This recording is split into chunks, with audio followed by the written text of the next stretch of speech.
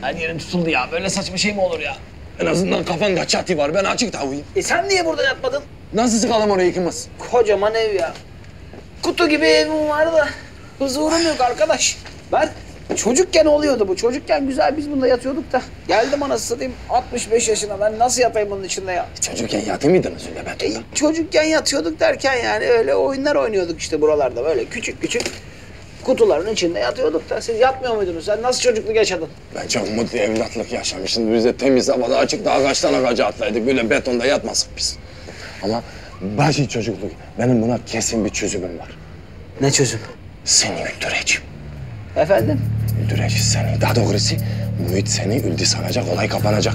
Yoksa ben gideceğim Muhit'i vuracağım, sürüneceğim müebbet hapislerde. Ha. Tamam olur. Uyar bana yani. Ben tamamım. Yalnız şöyle anlı şanlı bir ölüm isterim. Anlatabildim? Atıyorum mesela uçak düşecekmiş de onun pilotu bayılmış da ben o pilotun yanına geçmişim de hani uçağı oradan kurtarıyorum.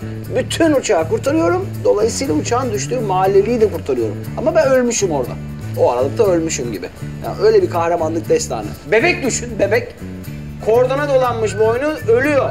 Onu oradan alıyorum bir şekilde. Doktorlar falan çaresiz kalmış. Tıbbın çaresiz kaldığında kurtarıyorum bebeği. Giriyorum ve o çocuğu oradan alıyorum ama kendim gidiyorum. O kordonlara ben dolanmışım. O şekilde ölüme ben okeyim. Ben bu kadar şeyi yapabilseydim. Şimdi Bollywood'daydım. Bollywood'da mı? Tabii. Başka bir şey vardır aklımda.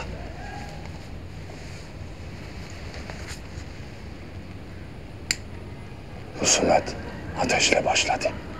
Ateşle bitecek. Ama bunu yan senle ben bileceğiz. Yoksa insanlar inanmaz. Kalk. Oy oy oy.